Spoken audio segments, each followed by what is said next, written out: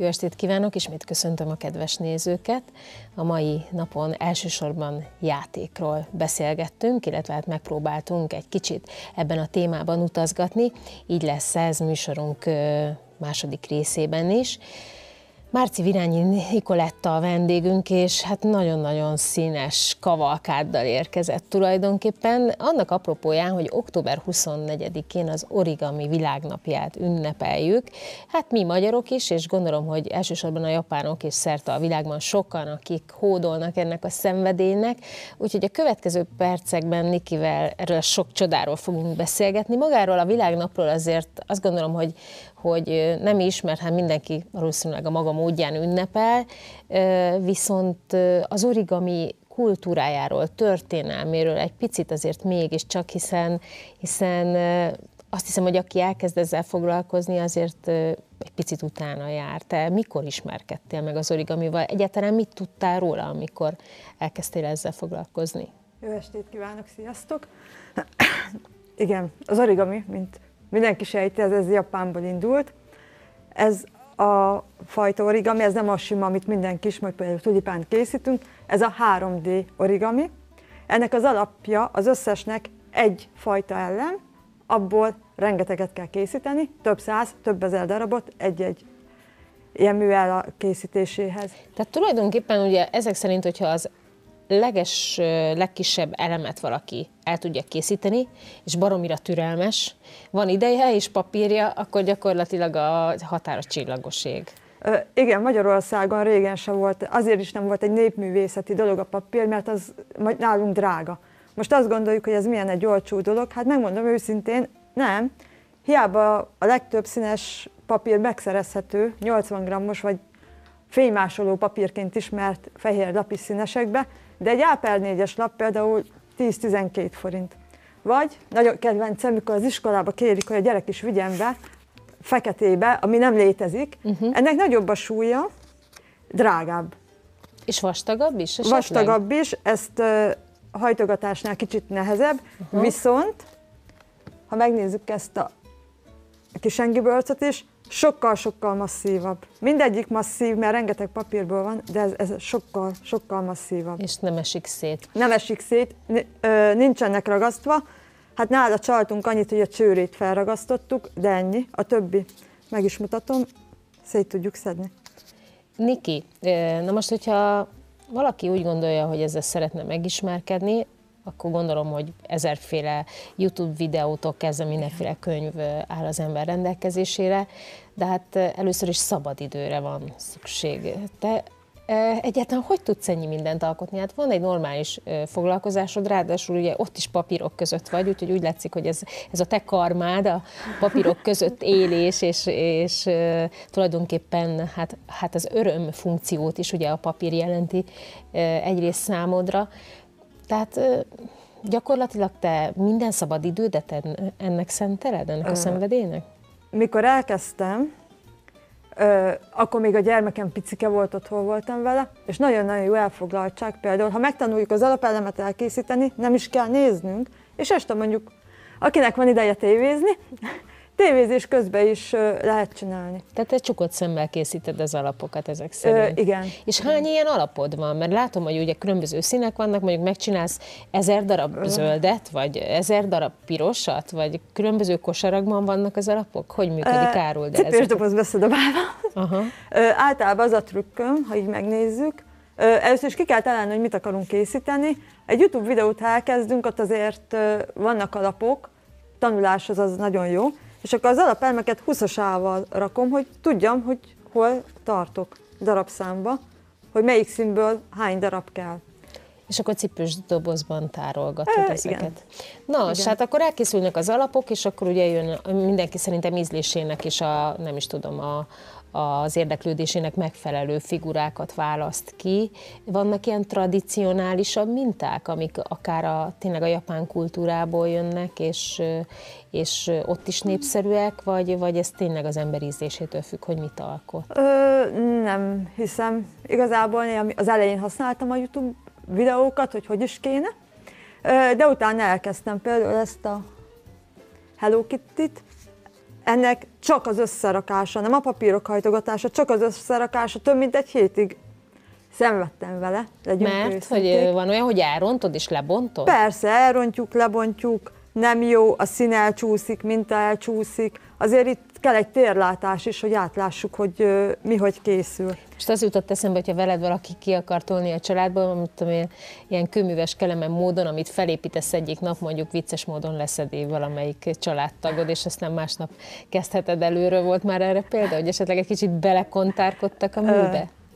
Ö, igen, csináltam egy papagájt, amely pohár szélén tudott ülni, és ö, a gyerek, kitettük, és akkor jött a gyerekem, és valamivel leverte, próbáltam, félretettem, hogy majd összerakok, és jött a férjem egy óra múlva, és ő is leverte, úgyhogy olyan szinten szétesett, hogy azt már nem lehetett újra összerakni. Azt hittem, hogy mindenki megpróbálta visszarakni, aztán végén lett belőle egy víziló.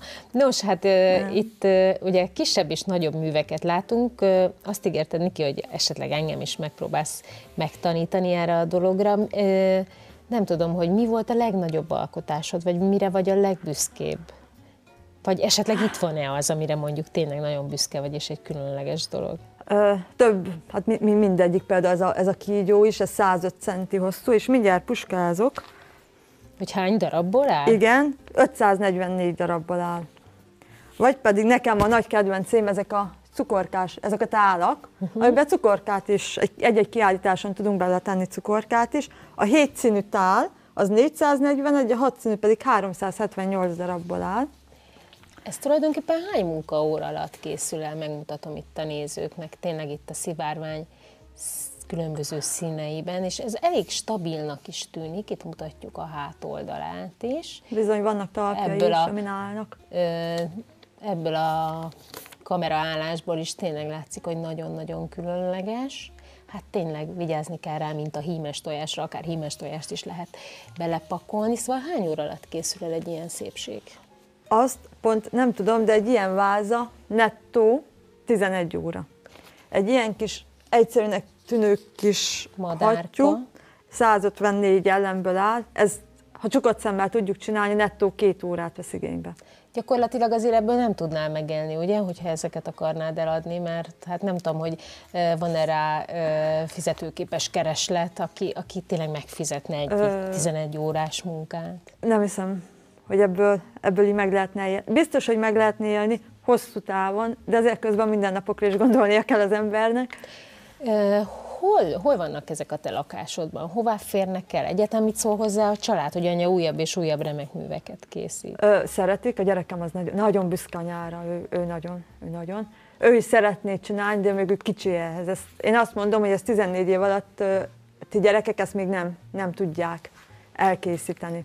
Pár évvel ezelőtt nagy divat lett különböző ilyen felnőtteknek való színező. Ami, tehát arra gondolok, hogy nyilván nem ilyen 18-as karikás színező, színezőről van szó, hanem olyan ábrákra, amelyet hosszan és elmélyülten kellett kiszínezni, és mindennek ugye az esztétikai célon túl volt egy meditatív célja is, hogy egy kicsit pihenjen, relaxáljon az ember. Ugyanezt elmondhatjuk az origamiról is?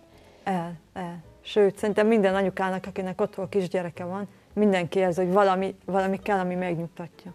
Vannak Nyíregyházán, vagy itt Szabolcs megyében hozzád hasonló origamisok? Esetleg van-e valamiféle kis szervezetetek, vagy gondolkodtál-e abba, hogy valamilyen csoportot, közösségi oldalon egy csoportot hozzatok létre, mert gondolom, hogy meg tudnátok osztani egymással a tapasztalataitokat is. Magyarországon többen vannak, itt a környéken nem tudunk arról, hogy hogy lenne.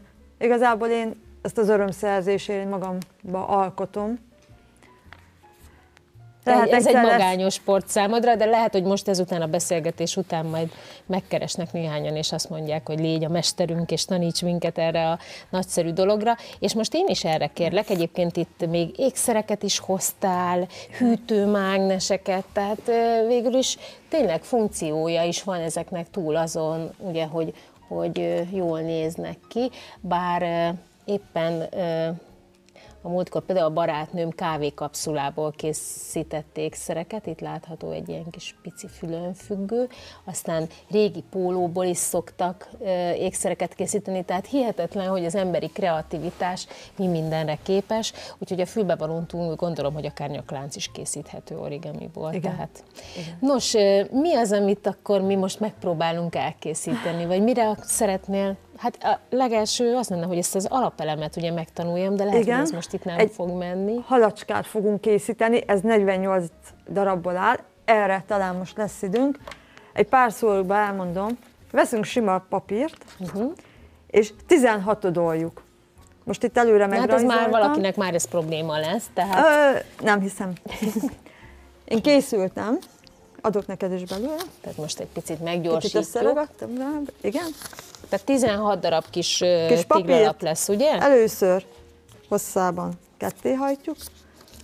Most a kedves nézőknek már lehet, hogy ezt egy kicsit elrontottam, már rögtön az elején mondani kellett volna, hogy amikor elkezdjük a beszélgetést, akkor 16 odoljanak gyorsan színes papírokat, és akkor a beszélgetés végén pedig akár velünk együtt, de ugye hála az internetnek akár vissza is nézhetik ezt a műsort, ezt a beszélgetést, és megpróbálhatják majd ugyanezt. Nos, akkor ugye én ketté hajtottam, Utána és te még megint egyszer. hajtjuk. Igen, már, már most kezdem elveszíteni a fonalat, jó?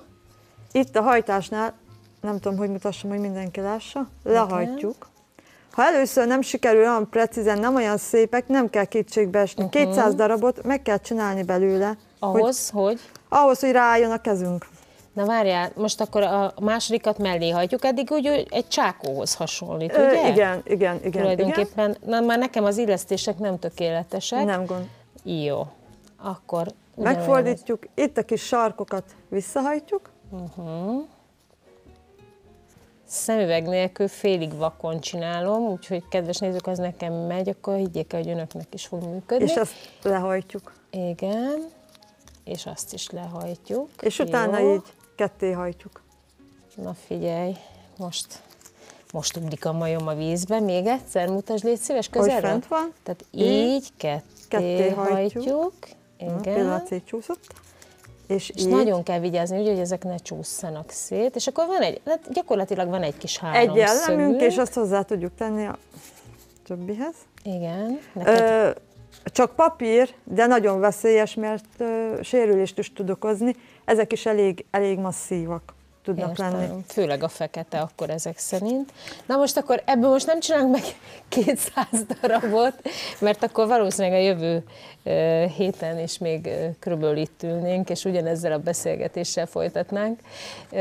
De te már itt készítettél Én többet. készültem. Úgyhogy ha az alap megvan, hoppá, a kígyó az fel is adta szerintem. Semmi gond. Igen. Majd felvesszük. Tehát akkor ezeket összerakod húszasával, és akkor elméletileg, hogyha valamilyen figurát akarsz készíteni, akkor ez szépen így az öletbe veszed, vagy egy asztalnál dolgozol? Hogy szoktad, Niki? Ó, összerakásnál, igen. Akkor jobb, inkább, ha, inkább asztalnál. Hajtogatni bárhol uh-huh. lehet. Ö, most fehérből 17 darabra, alapból pedig 30 darabra van szükségünk. Mióta elkezdjük összerakni, érdemes Szétszedni? Igen, megmutatom, kicsit elrébb pakolok, Aha. hogy előre készíteni, hogy tudjunk haladni, mert hogy össze kell ezt fogni. Közben elmondom, hogy ez a hattyú az első munkám, az unoka testvérem készítette, és én megirigyeltem tőle. Hát egy hónapig készült. Az, az első munkán? Igen. És ez az a hattyú, tényleg? Ez a hattyú, igen. Akkor ezt azóta is gondolom nagy becsben van. Igen. Hát nem látszik rajta, hogy ez egy első munka, szerintem teljesen profi alkotás? Úgyhogy nem ezt... tudtam összerakni. Nem? Az alapot nem tudtam, én nem tudom, legalább hatszor neki kezdtem, én mondtam a férjemnek, hogy ragd már össze, mert hogy ez neked biztos jobban megy, de annyi munka volt benne, hogy már nem adtam fel. Igen, közben itt a fiúk kíváncsian lesik, hogy mit fogunk csinálni ezekből a darabokból. Lassan elfogy az időnk, és én attól félek, hogy Ajaj. nem biztos, hogy végére érünk, de azért, azért, azért elkezdjük. Jó. Tehát akkor szerintem, szerintem kezdjük, kezdjük el, mert tényleg el. el fog fogyni az időnk, mielőtt kettőt is összeraknánk, mert csak azért, hogy ezt a e, trükköt lássák a nézők, hogy akkor hogy is kell ezeket összeilleszteni. Mivel ennek a szélnek simának kell lenni, az uh-huh. elsőhöz hozzáteszünk kettőt, de a szélsőkbe dugjuk be. Fú, te ezt olyan gyorsan csinálod, hogy én ezt nem bírom követni. Gyorsítjuk a műsor Utána van egy alapunk egyes, utána kettő, utána ugyanígy három darabot. Utána ez egy kicsi halacska lesz, ezért fogunk betenni egy szemet. Mondjuk beteszek, elnézést, így, nem? Én, én feladtam, majd, majd műsor után korepetálsz, Niki. Ezért fontos, hogy elő legyen készítve, hogy ne a fogunkkal kelljen kihúzni. És gyakorlatilag ugye akkor a két szélére és középre helyezed. De most fontos, hogy a szél, legszélső az nem megy bele mind a kettőbe, hanem a, itt az egyik üres maradjon. Aha. És mi lesz az, ami, aminek el kell majd készülni? Mutassuk meg, hogy, hogy mi lesz ebből. Hát egy ilyen halacska. Egy gyönyörű kis halacska, ami akár egy hűtőmágnes formát is fölvehet, hogyha ugye a végére ide ragasztunk egy, egy mágnest. Niki, szerintem mi a következő bejátszás alatt lehet, hogy folytatjuk, vagy legalábbis gyakorlok. Nagyon szépen köszönöm, és tényleg büszke lehetsz magadra, és kívánok még nagyon-nagyon sok szép ilyen alkotást, és köszönjük, hogy eljöttél hozzá. Köszönöm szépen, én köszönöm a meghívást. Mi pedig origami, origami után orgonával folytatjuk, hiszen nálunk járt Rákász Gergely orgonaművész, aki hamarosan elhozza Nyíregyházára a legújabb nagyszabású műsorát, erről és az előző koncert élményeiről beszélgettünk vele.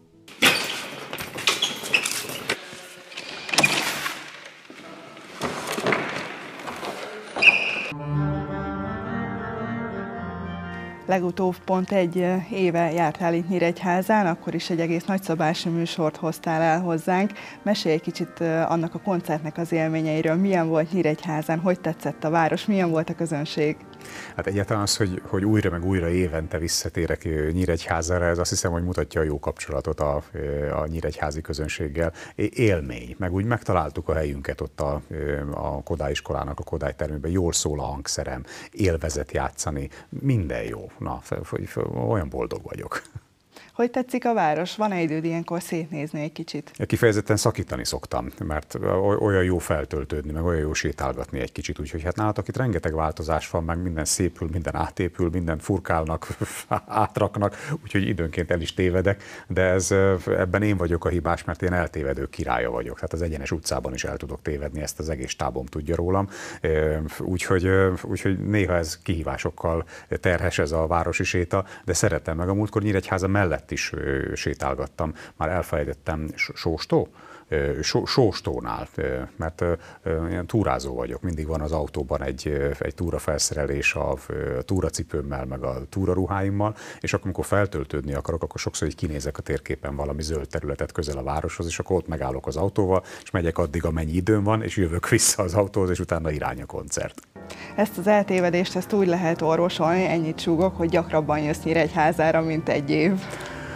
Nagyon próbálnék, meg a, meg a, a kedvességetek ezt indokolná is. Egész egyszerűen csak az időbeosztás teszi nagyon nehézé. 80, 85 vagy 86 koncertem van idén, és egy család, amelyik otthon vár, úgyhogy így is a, a szétfeszítettség határán van az egész csapat, mindenki gőzerővel dolgozik, hogy, hogy teljesíteni tudjunk, de ez, ez semmiképp nem panasz, ez inkább mindenképpen csak az, hogy, hogy nagyon örülök, hogy ez lehetséges, meg hát hát egy státuszjelentés, hogy, hogy ez, bocsánat ezért évente, de igyekezni fogok. Oké, okay, ezt megígérem. Köszönjük szépen előre is, ugye kiemelted itt a kedvességet, ezt nagyon sokan mondják egyébként, hogy a nyíregyháziakban van valami, valami nagyon barátságos. A művészethez is így állnak hozzá? Értik a művészetet szerinted a nyíregyháziak? Ha, ha, ha rajta múlik, tehát hogyha az, azt a mintát kell megítélnem, aki engem vesz körül, akkor igen. Kb. 20 éve járok vissza Nyíregyházára. Idén egyébként 25 éve vagyok színpadon, és elsők között volt Nyíregyháza. Az akkori menedzserem úgy válogatott, hogy hova megyünk, hogy mi, volt a, mi az, ami nagy a térképen. És Nyíregyháza nagy volt a térképen, már a városokat illette. Úgyhogy elsők között voltam itt a, a karrieremben Nyíregyházán hangversenyezni, és azóta tulajdonképpen évente egyszer volt, hogy, és neked van igazad volt, hogy évente kétszer, de megfordultam Nyíregyházán, úgyhogy, úgyhogy valóban kedvesség van. de, de ez minden résztvevő részéről, tehát a szervezők részéről, a részletekről a sajtóban, a közönség részéről, úgyhogy ez tényleg egy ilyen öröm.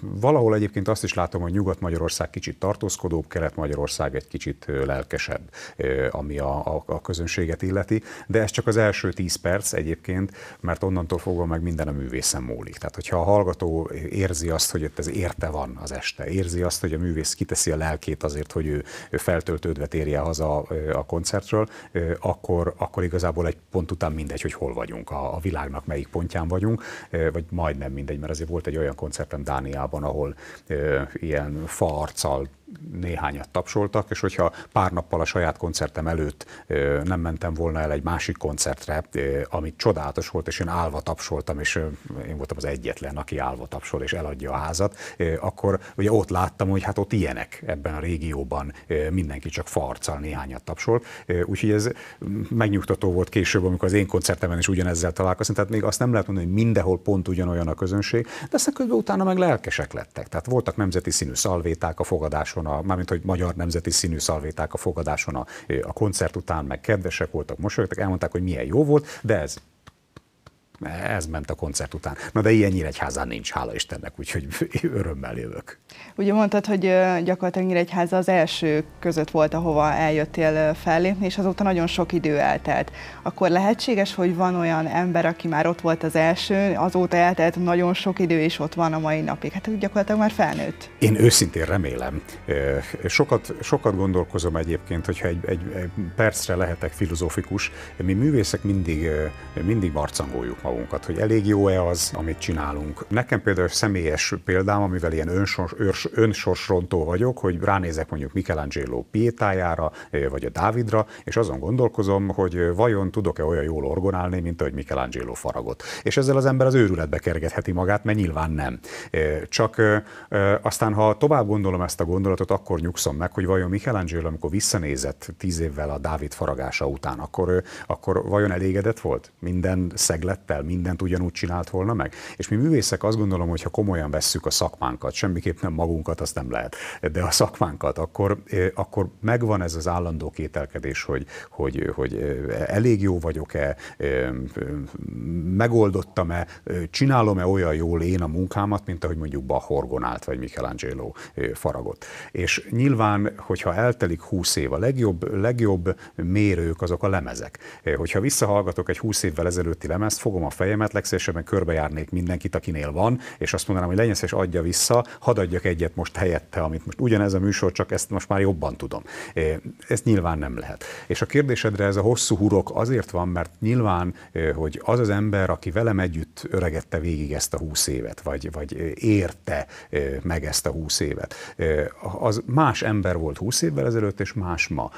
Talán akkor az a lendület, az a fiatalos derű, az a csikó megközelítés, ami akkor volt, szimpatikus volt neki. És talán ma is szimpatikus neki az érettebb, a nyugodtabb, a, a lazább, a felkészültebb megközelítés. És talán, hogyha velem marad még 20 évet, akkor szimpatikus lesz neki majd az, hogy milyen egy, milyen egy idős, megérkezett, lassú tempójú, másfajta művész. Nagyon remélem, hogy vannak ilyen velem utazó hallgatók itt Nyíregyházán is. Én azt gondolom, hogy a te munkásságodat azt most már senkinek nem kell bemutatni, sem Nyíregyházán, sem az ország más pontjain. Viszont az új műsorodról lehet, hogy még nem tudnak olyan sokat itt a környékbeliek. Mire készülsz most? A hangverseny, amit hozok, a Lords of the Organ, azaz az orgon a lordjai vagy főurai. Már a címválasztással is szerettem volna egy merészet, egy izgalmasat mutatni. Az, hogy ez nem egyfajta ilyen, ilyen galambszagú, templomkarzatra felszorult, poros, ódon dolog, hanem egy modern, fiatalos, lendületes megközelítése a hangszernek. Nézd, az a bajom, hogy ez a hangszer 2000 évvel ezelőtt egy sóhangszer volt. A gladiátor viadalokon Rómában ökrös szekére húzták, és ott a tömeget szórakoztatta. Császárok meg királyok építettek maguknak ilyen hangszereket, mert ennyire menő volt. Ott volt a korai Hollywoodban, kísérte a néma filmeket, és mégis mára sokak szemében a dögunalom szimbólumává változott. És hogy e-, ebből a, ebből a nagyon rossz polcról, vagy erről a nagyon rossz, sötét-fekete polcról igyekszem levenni ezt a hangszert ilyen izgalmas, lendületes, mozgalmas műsorokkal, mint a Lords of the Organ, ahol, ahol vetítés van, tehát van egy kis látvány, nem sok, épp annyi, hogy segítse a zeneművek megértését. Ezért aztán van nem csak vetítés, de, de narráció, zenetörténeti ismertetés, nem hagyom egyedül a, a hallgatót, hanem van egy kis idegenvezetés, hogy mire figyeljen, hogy hallgassa, mindjárt egy kicsit benfentes a hallgató, és akkor, akkor azt mondja talán a darab végén, hogy ó, hát értem, kicsit közelebb van hozzám ez a műfaj. Ugyanis a mi, mi dolgunk klasszikus zenészként nem egyszerű, vagy egy borotva élen kell táncolni, és le lehet esni az érdektelenség irányába, hogyha ha nem üti meg a ma emberének az inger küszöbét a, a hangversenyünk, de le lehet esni a csinnadratta irányába is, hogyha plüss klasszikusokat gyártunk. Az meg azért nem jó, mert, a, mert azt az üzenetet, ami 300 éve csodálatos és egységes és értéket képvisel Bach vagy Vivaldi üzenetét, tönkre lehet tenni azzal, hogy ha az ember telerakja dobgéppel, vagy mit tudom én. De, de ha egy picit adunk, a megértés mesdjéje mentén. Épp annyi látványt, hogy, hogy ez segítse azt, hogy közelebb kerüljön a zenéhez az ember, akkor talán, talán nyertünk. Akkor megvan, megmarad az üzenet, de átüti az érdektelenség falát, és akkor mégiscsak több ember tud megmozdulni, többen jönnek el a koncertre. És mielőtt azt mondanád, hogy ez öncélú, nyilván hát persze az a cél, hogy minél többen üljenek a koncerten. De képzeld el, hogy, hogy az az ember, én szentül hiszem, hogy az az ember, aki szerdán Bachal táplálkozott, az csütörtökön nem dobja el a PET palackot az erdőben hogy az az ember, aki szerdán Gershwint hallgatott, vagy Vivaldit, az, az másnap egy kicsit emelkedettebb lélekkel vesz részt a világban. Nem lesz egy kicsit akkor jobb a világ? Tehát nem célunk nekünk, vagy nem kell, hogy célunk legyen nekünk klasszikus értékeket közvetítő művészeknek, hogy egy picit jobbá tegyük a világot? Hát szerintem, hogyha ezt nem tűzzük ki művészként az ászlónkra, hát akkor, akkor mi értelme van az egészet csinálni? Hát, hát pont ettől művész a művész, hogy egy icipicit akarjon javítani a világon, nem? És az a tapasztalatod, hogy a műsoraiddal lehet javítani, hogy elér az emberekhez, hogy megértik ezt az üzenetet? Ez egy trükkös kérdés, meg, meg szívesen körbejárnám, de a műsor kereteit szétfeszíteni. Azt a, azt a célt, hogy majd én fogom megjavítani a világot, ezt olyan 18 éves korontáján föladtam.